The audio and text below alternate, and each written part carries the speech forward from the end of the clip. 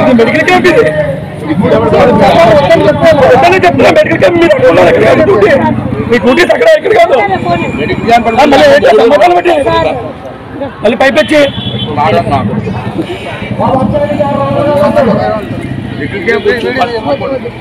ఎక్కువ పాలు పొట్టు ఆడుకుంటున్నా తీసుకునే